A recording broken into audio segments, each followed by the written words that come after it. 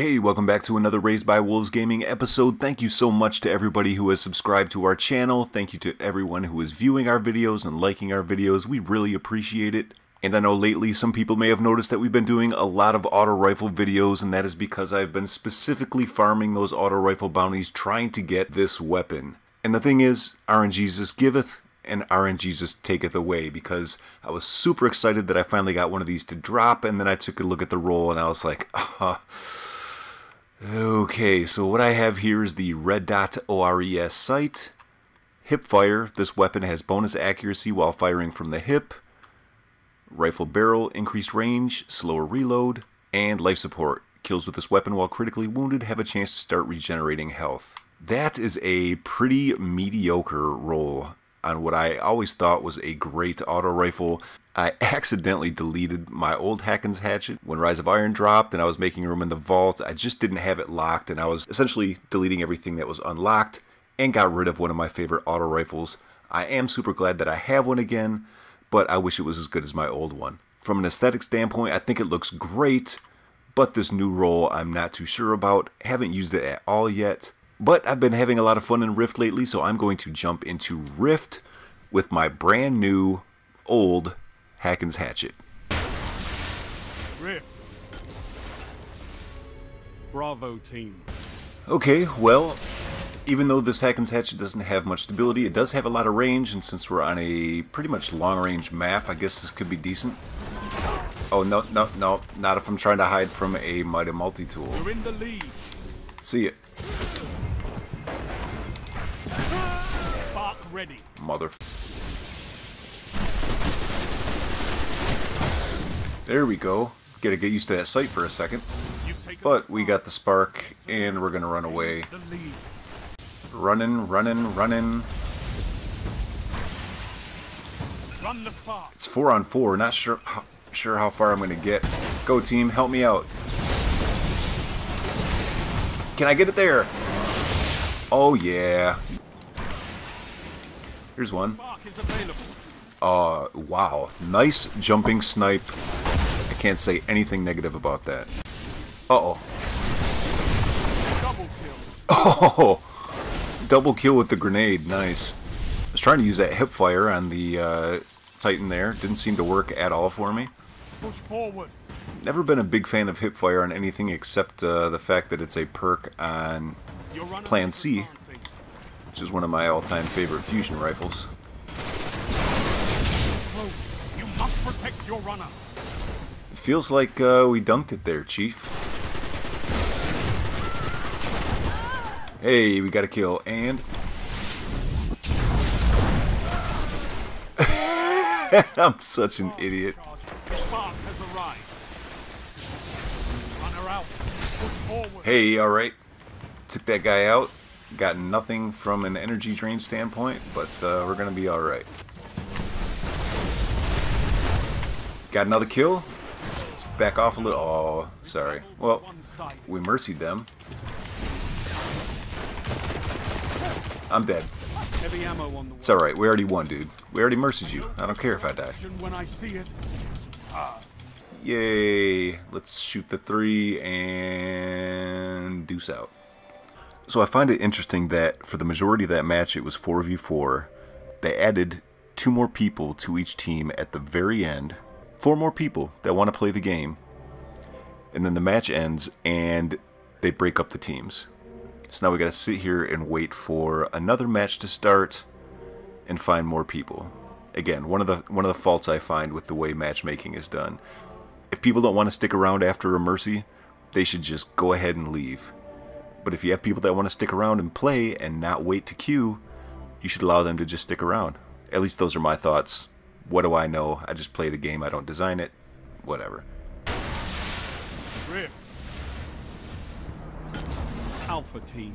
Alright, Rift on Vertigo. One of my favorite maps personally. I always seem to do reasonably well on this one. Hey! First Blood.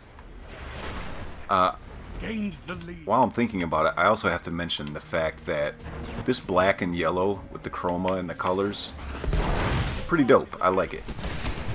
Oh, two. I can't challenge two right now. Just can't challenge two. I'm too weak. Gonna back off. Let them just waste all their grenades. and let him fall off the map.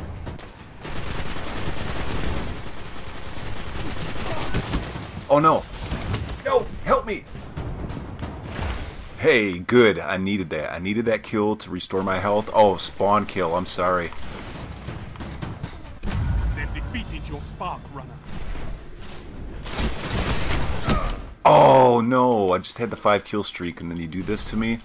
You know, I tell you what, I I was disappointed that I didn't have good stability perks, but the range perk on this thing with rifle barrel is actually coming through for me. I like it. I think we're gonna do this. Just because we can. Oh, enemy runner. Boo. Oh, I'm sorry, dude. That's that's not fair. I'll back off. That's not fair. Stop the runner. I'm just spamming, spamming, spamming.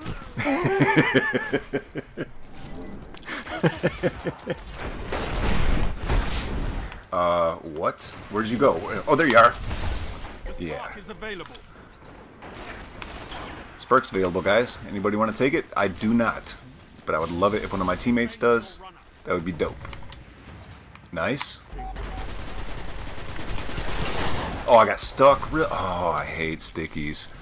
In my brain, I can intellectualize why people would want to use stickies, but in my heart, flippin' hate them.